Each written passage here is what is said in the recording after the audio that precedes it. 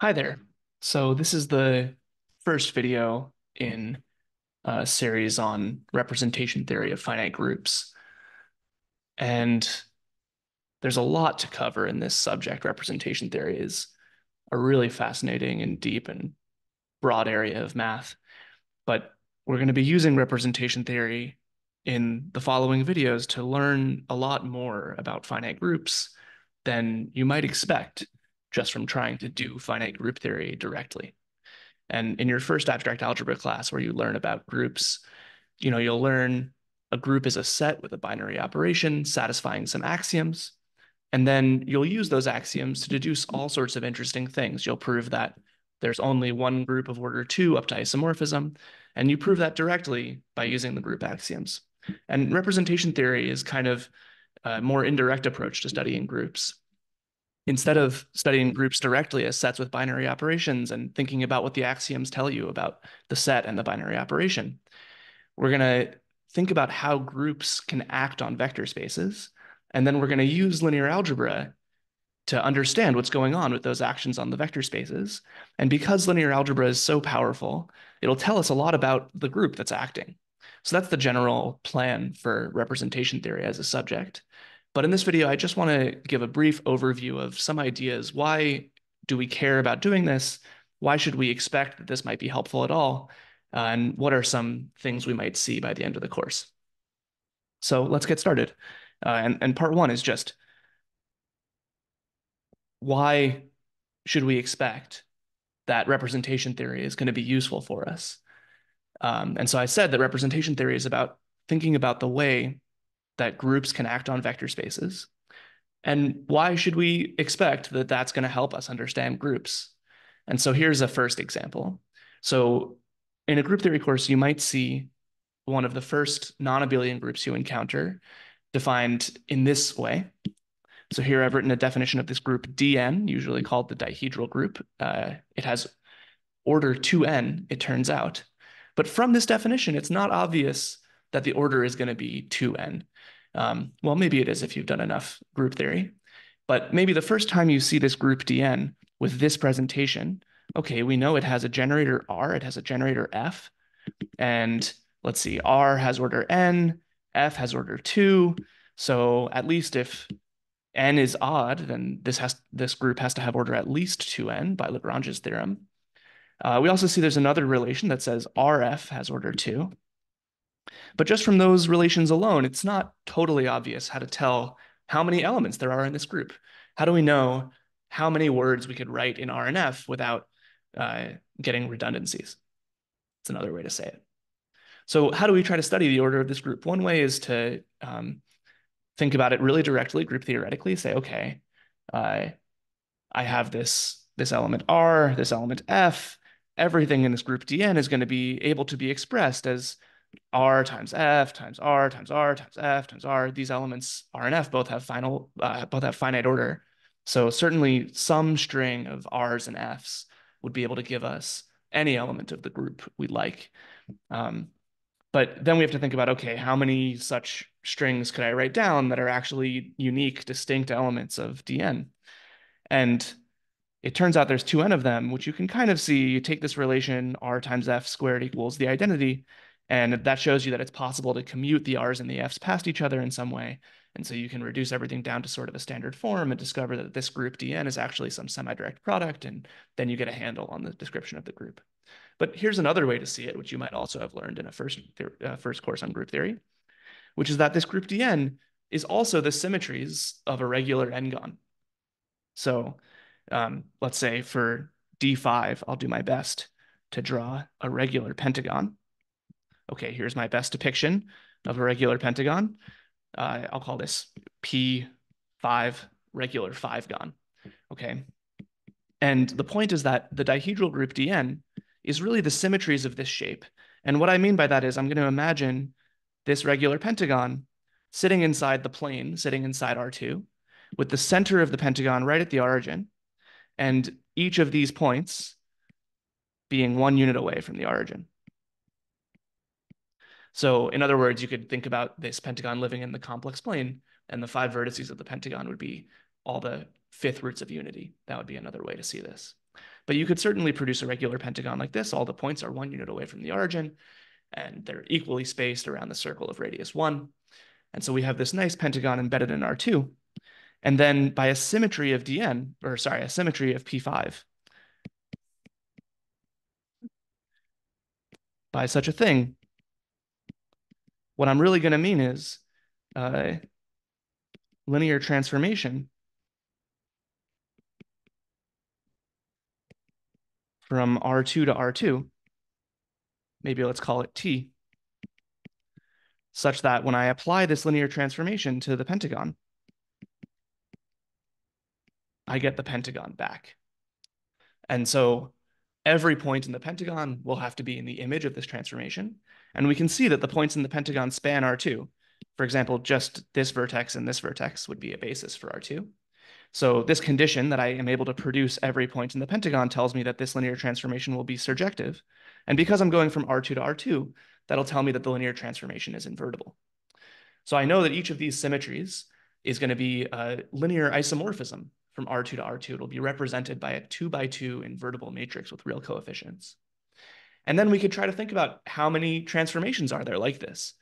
And from linear algebra, we see, okay, a linear transformation is uniquely determined by what it does to a basis. So because these two points, let's call this A and B, because A and B are a basis for R2, to determine the entire linear transformation T, to know the entire symmetry, all I have to do is figure out where should A go and where should B go. And okay, so it also turns out you can deduce from this condition that T of P5 equals P5, that all of the vertices have to end up at vertices. The, these points, these five vertex points, are the furthest away from the origin. And so if we're going to produce all of those five vertex points in the image of P5, we're going to need to send vertices to vertices. And the linear transformation is invertible, so it's going to have to induce a bijection on the set of vertices. So this vertex A is going to have to go to another vertex, and this vertex B is going to have to go to some other vertex. And so for this reason, we see that there's at most maybe uh, five times four equals 20 different possible linear transformations like this. A has to go to one of the five vertices and B has to go to one of the four remaining vertices and five times four is 20. Okay, but it's not actually 20. It turns out there's only 10 elements in this dihedral group D5. So why is that? That's because this linear transformation, it'll have to send vertices to vertices. And so it'll send this basis of vectors of length one to another basis of vectors of length one. And it, as a result, it'll preserve the lengths of all vectors. This linear transformation T, in order to be a symmetry of P5, will have to preserve the lengths of every vector. And so in particular, it'll have to preserve the length of the vector B minus A. Or I guess this one that I drew is A minus B. So that vector has some length. You could go and compute it if you want. But that length has to be preserved. So I know that A and B have to get sent to vertices. And I know that A minus B has to get sent to a vector of the same length that it started with. And so that means that wherever A goes, B has to be adjacent. If we had some situation where like A went over here and B went over here, maybe B stayed in the same place, we'd have a problem because now A minus B would have grown too large. So we really see that this linear transformation T, in order to be a symmetry of P5, has to be an invertible linear transformation that preserves lengths and sends these two vertices A and B to two adjacent vertices. So how many ways could I pick two adjacent vertices in the regular five-gon? Well, okay, I can send A anywhere I want. That gives me five choices. But then wherever I send A, let's say I decide I want to send A over here, then B has to be adjacent. So B could be over there or B could be over there. There's two options. So there's five times two equals 10 possible linear transformations like this. So now the order of D5 we can see is at most 10. But actually, the order is exactly 10. By sending A to a vertex and B to an adjacent vertex, that tells me where to send my basis. So that gives me a unique linear transformation from R2 to R2. And we see that it'll be invertible because the image will still be a basis. The image of A and B, I mean, will still be a basis. And that linear transformation will send P5 to P5. Um, you can sort of see by trying to construct the other vertices as sums and differences of A and B. So by sending A to one of these vertices and B to an adjacent vertex, I'll get a linear transformation that sends P5 to P5. I'll get a symmetry of P5.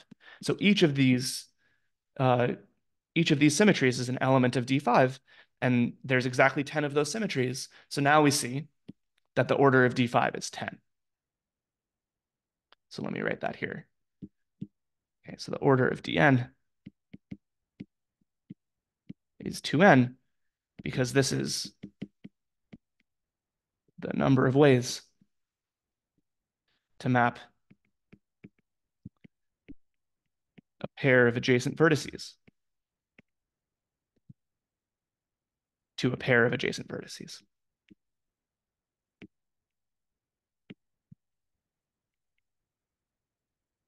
So just by thinking about the elements of Dn as linear transformations and using linear algebra, understanding the lengths of vectors in R2 and that linear transformations from R2 to R2 are injective if and only if they're surjective.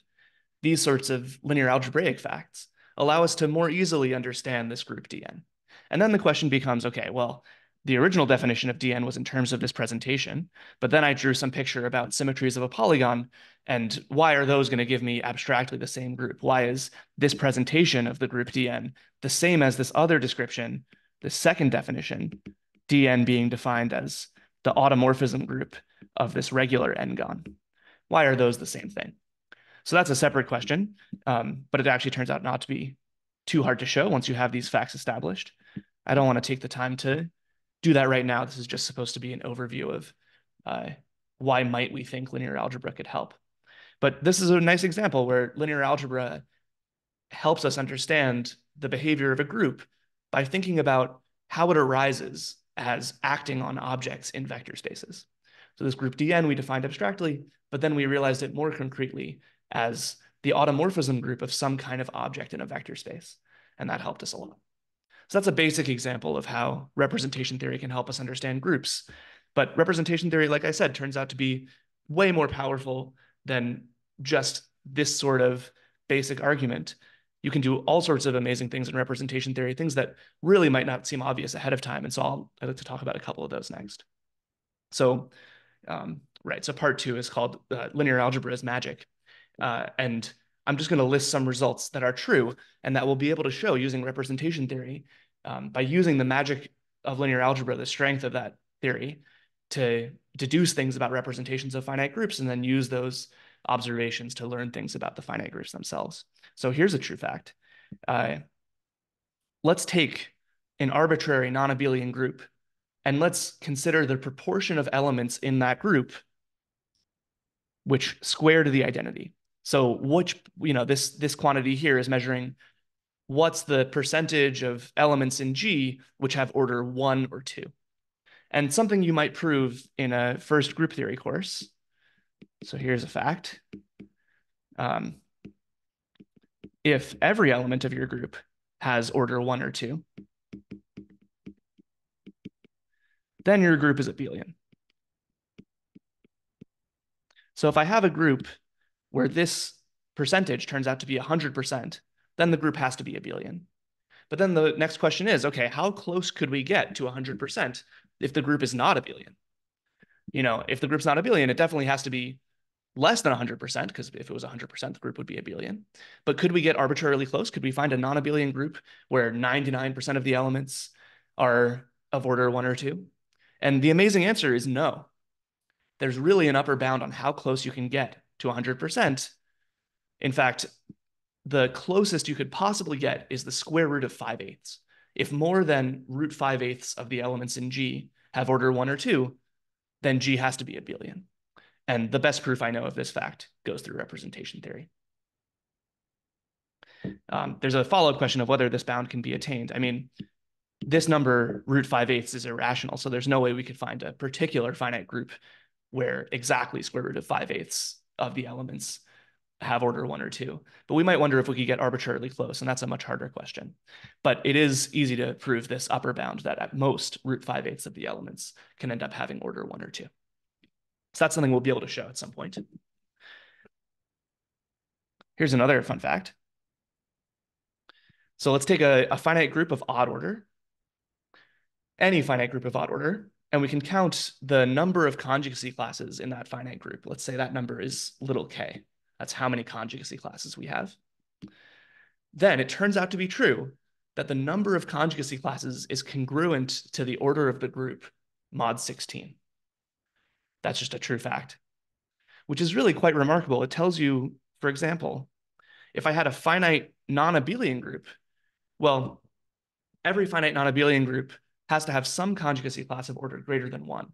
If you have a conjugacy class of size one, it means that the element in that conjugacy class commutes with everything. No matter how you conjugate, you get back to itself. So that element would be in the center. So if every conjugacy class has size one, then your group has to be abelian. So if I have a finite non-abelian group of odd order, then at least one of these conjugacy classes has size at least two. So there's fewer conjugacy classes than there are elements in the group. And then the number of conjugacy classes, you might think, okay, maybe there's just one conjugacy class of order two and everything else has order one.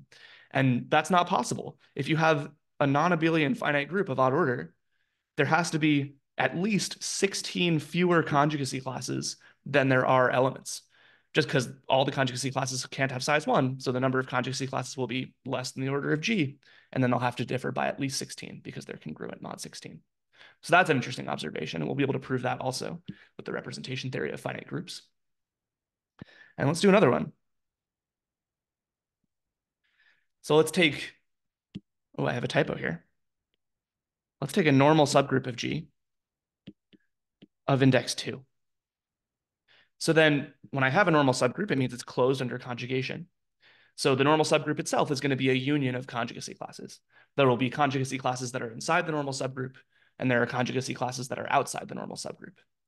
And the amazing fact is that no matter which normal subgroup you pick of any finite group, if it has order two, the number of conjugacy classes inside the normal subgroup, this is another typo, will be at least as large as the number of conjugacy classes outside the normal subgroup. There will be at least as many conjugacy classes inside N as there are outside N.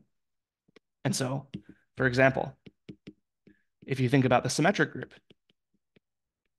the conjugacy classes in the symmetric group are in bijection with cycle types. And a nice normal subgroup of Sn of, of index 2 would be the alternating group An. So those are the even permutations. And so the conclusion here is that there are at least as many even cycle types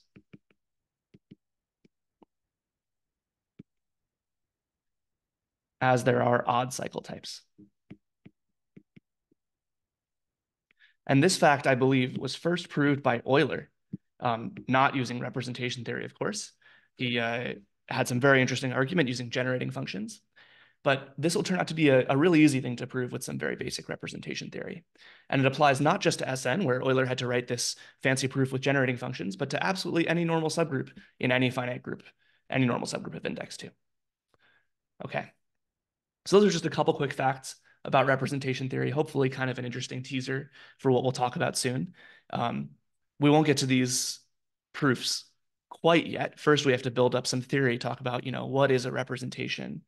how do we try to work with representations? How do we try to identify representations up to isomorphism? So there'll be a lot of theory to develop. But once we have some basic tools under our belt, we'll be able to tackle problems like these and learn these sorts of facts about finite groups that turn out to be quite hard to show with just direct group theory arguments, but are quite easy to show via representations. All right, I hope that was interesting, and I'll see you next time.